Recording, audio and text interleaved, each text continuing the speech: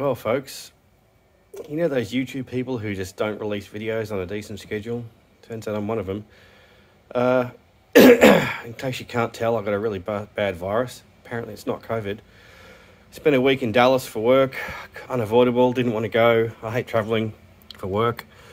Anyway, so the last time I, last time we checked in, I think I was talking about um,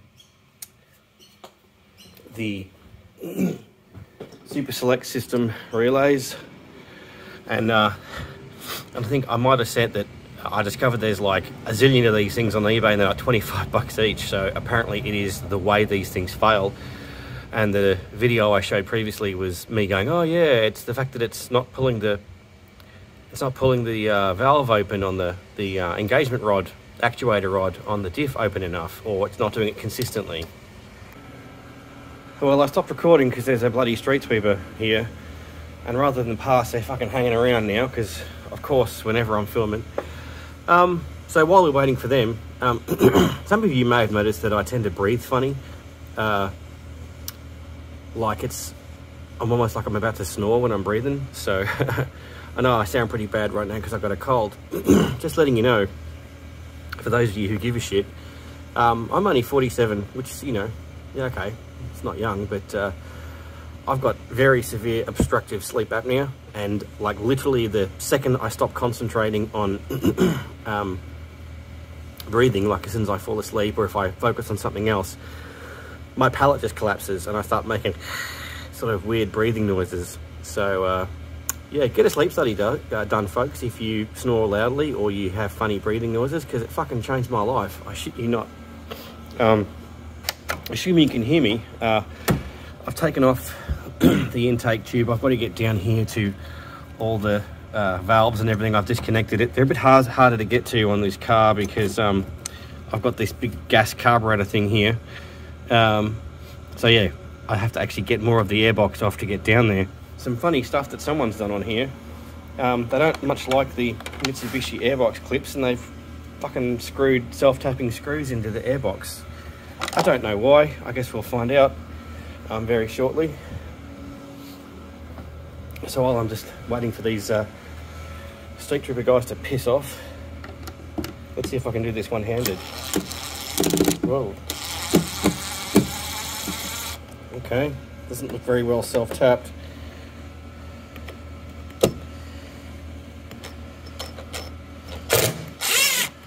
Okay, that one's coming.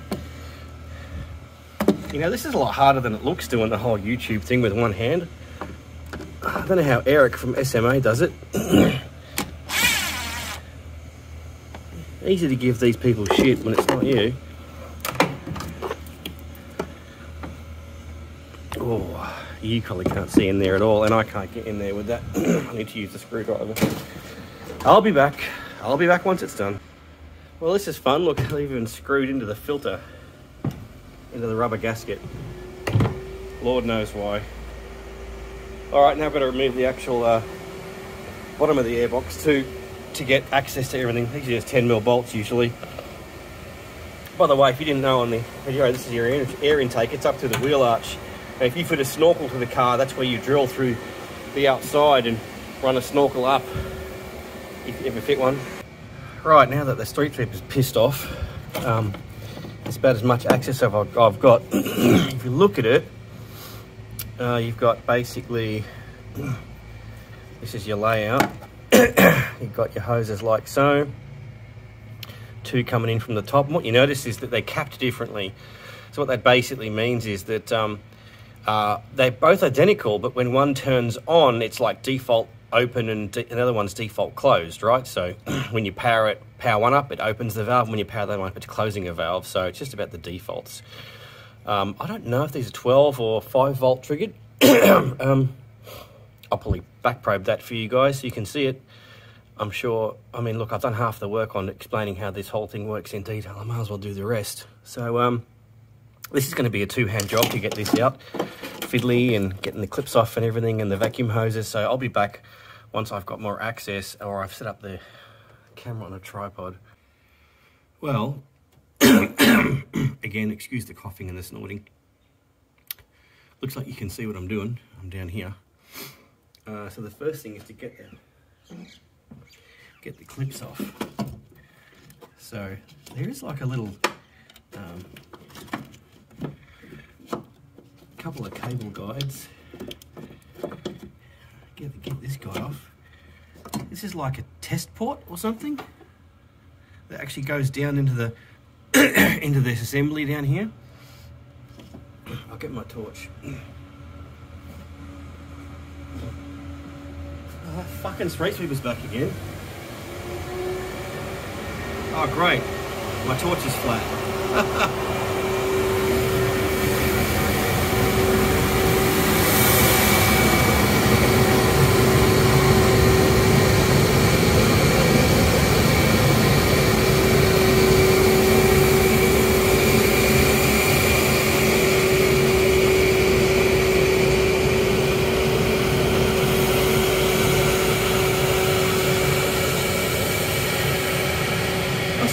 guy's going round around my street over and over again. Piss me off. God damn YouTube wankers. Yeah, see, it's, I can't fix the strobing, sorry, but yeah, there's a test port. I'm not sure what you would use the test port for. Uh, you can get that nipple off. It doesn't look like it would seal very well. So maybe it's just a vent. As opposed to a test port. I don't know. Curious about that. Anyway, get that guy out of the way.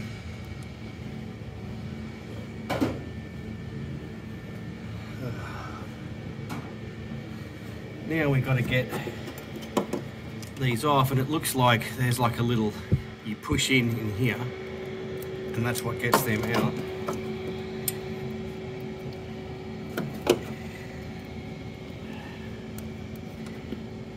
Going to be super annoying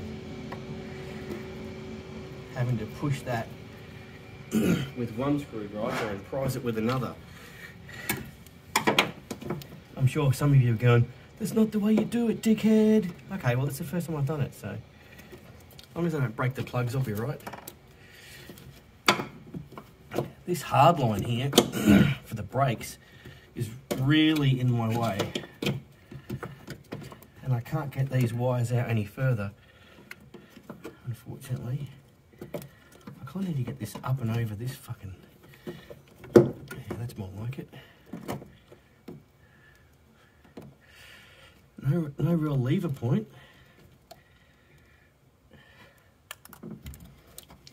Oh yeah you've got to use your oh look crusties.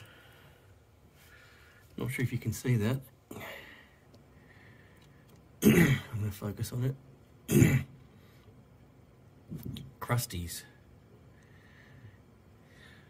I'll have to clean that.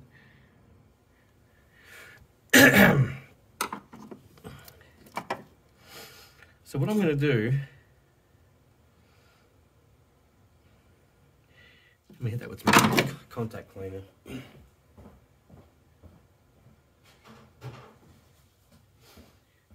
Tell me if you know it. Is there a difference between contact and circuit board cleaner and brake cleaner? Smells the same to me. Oh, that's got no gas in it at all.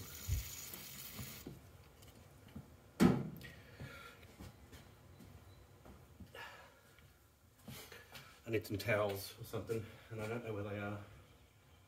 Oh, here they are.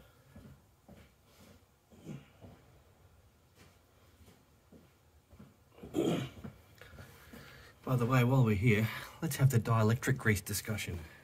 If you Google dielectric, it means it doesn't pass current. But what that actually means is dielectric grease, when you put it on a connector, um, when the connector's touched, it does push the grease out of the way completely, but around the contact patch, it blocks oxygen. So you can't get oxidization. So dielectric grease is very handy for protecting a joint. It doesn't make the joint. That's more like, uh, what's the other stuff? Like deoxit. Deoxit cleans the joint. Um, and deoxit's a lot harder to find in Australia. It's certainly not sold under the deoxit brand. Anyway, video evidence. So for this one here, the wire colors are gosh. they look the same. Uh, what? They must be ground switched then.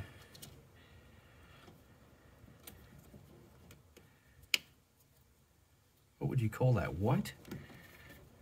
What would you call that one? That one is yellow green. So this one here is, let me zoom in. See if I can get that one on the zoom even better. Yeah, this one here is yellow green. And this one, well, let's get him out first. Now that we know which one's which. That one's also a bit crusty. I don't know if that's actually striped. I'm going to focus on that for you. My eyes are a bit shit. I'm gonna get the torch again. Again, this will strobe for you guys, but let's have a look. Oh, interesting. That's got two wires going into it. That one's got one. Bit of green and crusty on the back of that one still.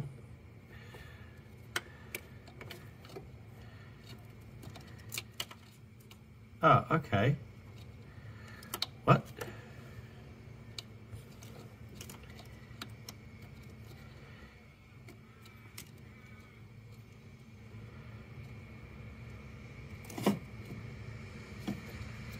They...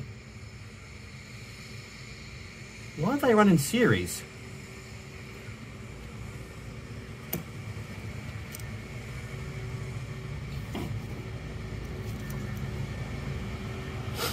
Okay, this is very confusing and now I need to go and do more investigation as to what that all means. Okay, I'm on microphone on the desk and I hope I don't cough and splutter into the bloody microphone, but I've worked out how this uh, running in parallel thing works and it's because the Super Select system, aka Active Trac if you're an American, works it's as a electromechanical system, that being there's the electro side, which is solenoid, which are either both turned on or off. But there's also the mechanical side, which is if they're turned off, then the the direction of the solenoid, all it's doing is directing the default flow of vacuum. So the way it works is the vacuum is either forced to engage four wheel drive or the vacuum path is forced to disengage four wheel drive. And that's by looking at this is the on the diff. So if you were sitting in the driver's seat looking over the bonnet, this is the direction that the uh, that system would be facing. And so, if you remember the previous videos, you saw this little cover I had it pulled back, um, and I was dicking around with these vacuum tubes. So what it's saying is, if you don't apply any power to the solenoids, then the vacuum path will will always be active, and it'll just be pulling this pulling this uh, uh, diaphragm in here one way or the other. And so the default is with the with the power turned off, I believe, that it pulls it this way and engages four wheel drive. But I can't actually tell um, from this diagram uh, which one's which. So if we look at the ignition switch here, it's saying that there's a 10 amp fuse and there's a yellow blue. I think L is blue. And if we looked at those wires we saw before, I'm pretty sure it was yellow blue. So C112 is a large connector. Um, it's not on this one. It's down here. C112. Yeah, see, it's quite large in the bottom right of the screen. yeah, four-wheel drive indicator control unit. so what do we got? Uh, there's detection switch, detection switch, detection switch, detection switch, and all these um, plug into things like the switches in the transfer case. But they also um, engage the system. So it says here, so somewhere in here, it's activating the power to this. And I'm assuming it's ground switched because I'm looking at this diagram. Let me just go to the next page. This just says ignition switch. Um, these are the indicator lights. But anyway, um, yeah, so you turn the ignition switch on and it provides 12 volts. so it is a 12 volt system. 12 volts all the way down into the solenoids. And the solenoids power up. And so when they're powered up, one of them, they both open, but because of the routing of the vacuum, um, one of them, I suppose, is uh, not providing any vacuum to the diaphragm, and the other one is providing vacuum to the diaphragm due to the routing. And I'm sure if I actually this virus goes away and I wrap my head around it, I'll do like a nice, more detailed description of the overall behavior of the Pajero Super Select Active Trac selection system, so you can just you know get a real feel for it, as opposed to this um, flu-addled brain trying to tell you what's going on. So yeah, so you apply power to it, they both power up, but the routing of the tubes, um, and I'll overlay the image here, the routing of the tubes uh, dictates exactly whether it's applying vacuum or not. All right, so when one is power, so so when they're both powered up, uh, one of them is applying um, vacuum to one side of the diaphragm, and when they're both powered off, the route changes so the diaphragm is pulled in a different direction. In other words, it's just um, it's always pulling that that vacuum in one direction or the other. So it's not like you have two different solenoids and one solenoid's powered on and one's off, and then you flip it so that one sol- the other solenoid's on and the other, and then the, the first one's off. It's just that they're both on or both off, and it's just the fact that they are what three port solenoids. I'm sure if they had a, a, solenoid they could have used at the time that had more ports in it, um, they might have just used that. They might have just used one solenoid, but it's just the fact that the solenoids they used dictate they have to have two. Um, but I just can't tell here, um, looking at this diagram, and it could just be because I got the flu, uh, that when you engage four wheel drive, right? It's not detection; it's engage. So when you when you put the transfer case into four wheel drive, there's a switch in the transfer case that detects that and then tells the control unit, which is this box here, and we can scroll down to the other side so we can see it says four-wheel drive indicator control unit. It tells that to apply uh, uh, power or not to those solenoids. So once I work that out, I'll draw a better diagram, but that's fundamentally it. And I'm not sure why uh, the diode's there. That diode might mean I've got the whole thing wrong.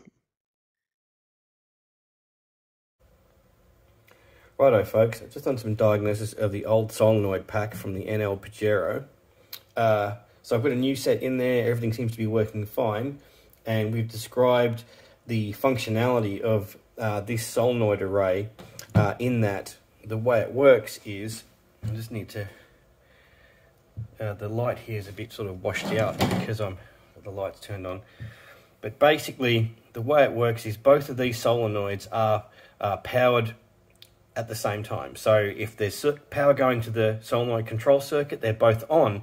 The difference is that when they're both on, right, uh, they're plumbed differently. So you'll see that this one has a cap on this end of it, whereas this one actually feeds, uh, takes vacuum from the car. So this, this side here is the vacuum source, so from the inlet manifold and the vacuum tank, that will actually pull vacuum.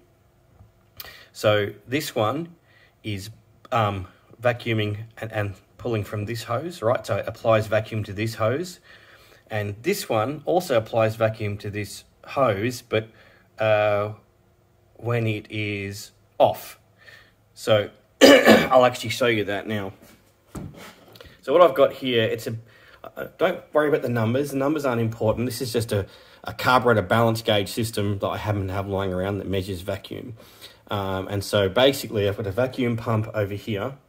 Now when I, there's no power applied to the circuit right now, but you'll note that there's positive and positive are the same, negative and negative are the same. Okay, so both of these solenoids are powered off right now. And what you'll notice is when they're off, this one's uh, pulling vacuum, right? So this one here goes to that gauge. And see, it's actually uh,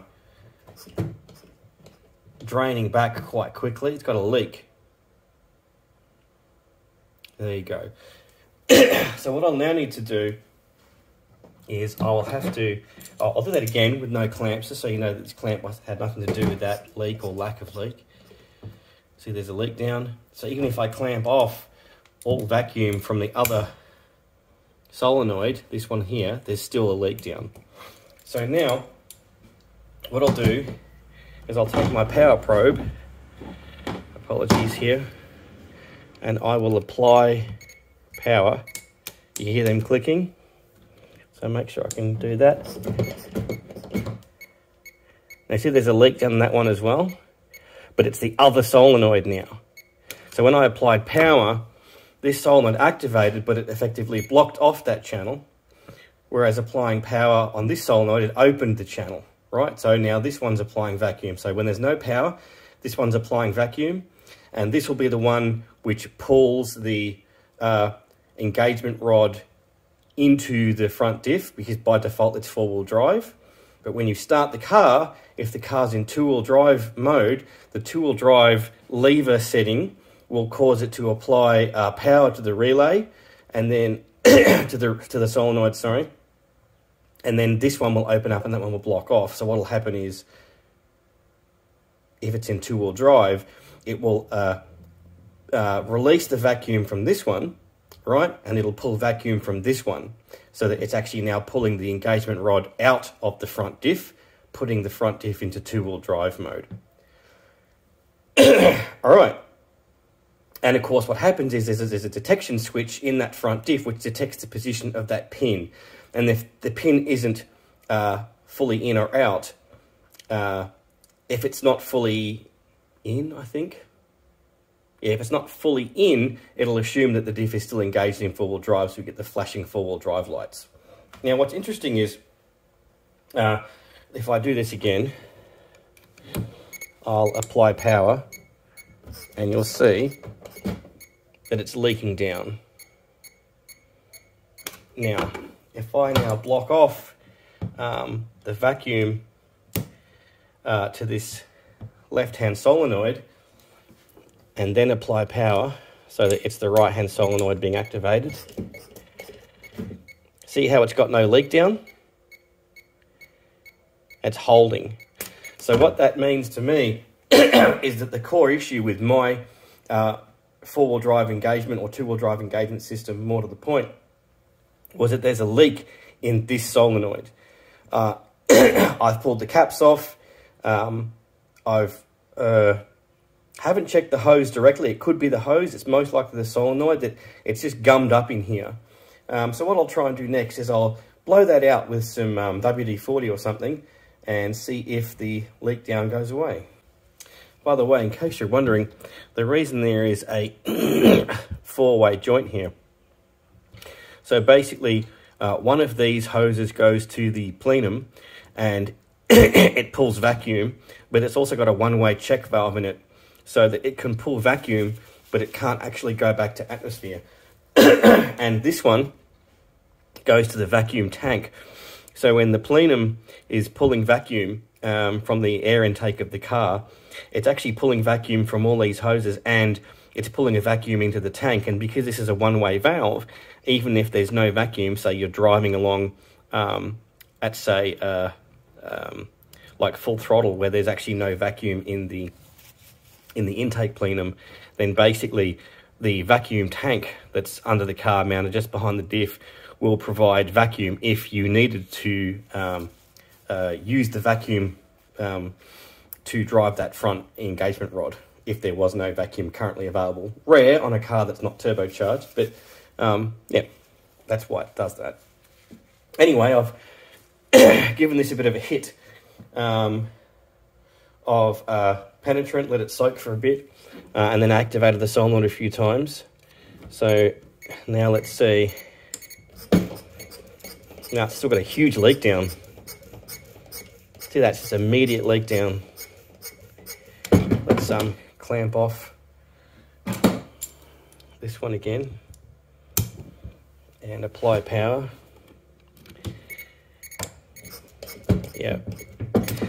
So there you go so fundamentally, the issue with this this uh, solenoid pack is that there's an internal leak.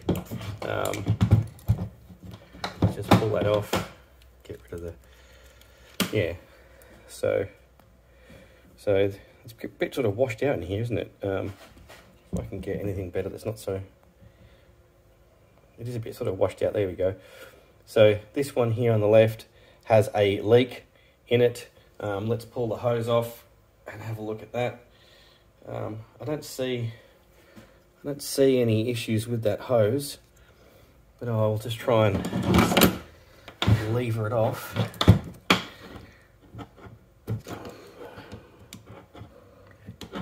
Oh, it's coming. I don't want to knock the camera over. Let's pull the other one off as well. Oh, Jesus. Like, they're definitely stuck on. They're not, they're not like uh, slipping off. I say it's been there 22 years.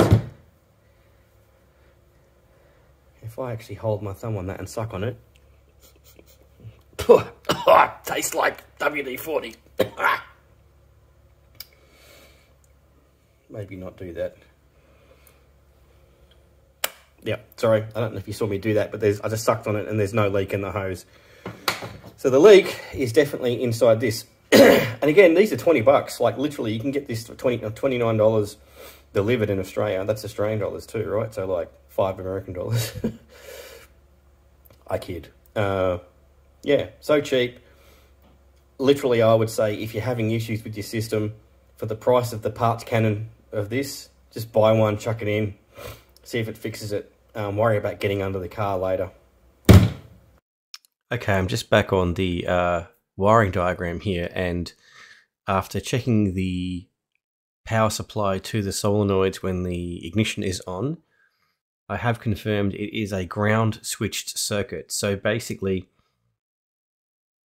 I think this diagram here is a bit backwards where it says freewheel engage switch and two wheel drive, four wheel drive detection switch. I actually think this is actually the engagement switch here in the transfer case. So when you put the transfer case lever into four wheel drive, I believe that's making the connection here. And that drives the uh, solenoids. And the detection of the four wheel drive, two wheel drive mode is here in the freewheel engage switch and also on the other side in the four-wheel drive operation detection switch. So that one says detection switch and this one here says two-wheel drive, four-wheel drive detection switch. But I believe uh, this is what grounds out the power to the solenoids but this separate one is what detects, uh, is separately the lever position detection. So this is what controls whether the, uh, uh, where is it here? So yeah, to the freewheel engage switch, if you put it into four-wheel drive, it'll power the solenoids. It'll also detect via this one here, sorry, this one here, that you've put it in four-wheel drive and then the lights will flash until this switch here closes. And then once you've got this switch here to cl uh, uh, uh, closed and this switch here closed, then the light stop flashing. Okay, so I think I've just confirmed this because if you look at that previous, if you scroll back in the video, uh, B06, which is the uh, detection switch, uh, is actually in the transfer case. So B06 is called the two-wheel drive, four-wheel drive detection switch.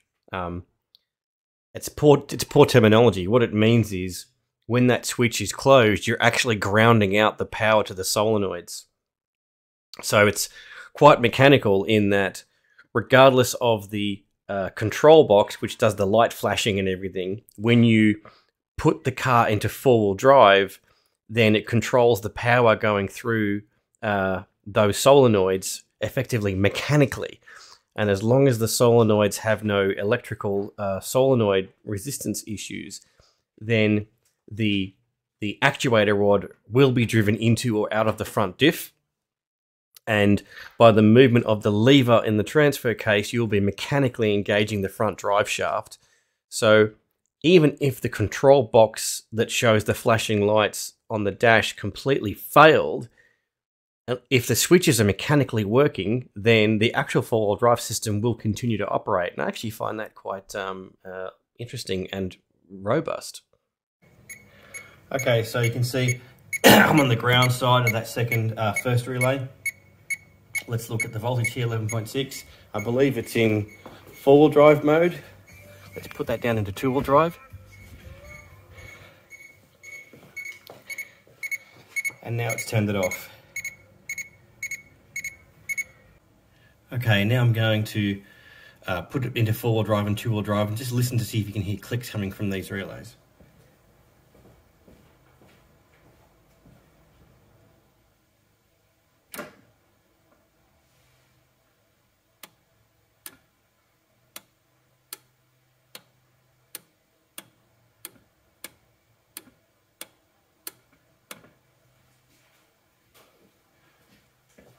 I could hear those from the cabin. So yeah, so as I wiggle it back and forth from four-wheel drive into two-wheel drive, you can see it's applying power to those relays on those solenoids. I don't know why I keep calling them relays. Bad habits. But there, there you go. That's empirical evidence of the way it works. And uh, pretty clear guidance that if anything happens, for 25 bucks or whatever, 25 bucks or whatever it is, throw the parts cannon at it. It's probably got leaks. You might just solve the issue in one hit. And even if you don't, you kind of know where the rest, you know, has to, you, you, even if it doesn't fix it, you know where to go next to look at it. You go down to the vacuum canister and investigate. You can check the vacuum to see if there are vacuum leaks. You can look at the rod actuation to see if it's sticking. You can actually go and look down at the mechanicals after that. But this is a good place to start.